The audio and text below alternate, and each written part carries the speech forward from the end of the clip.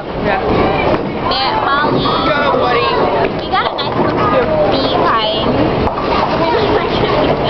We'll get the ball. What do you think? Alright, ready?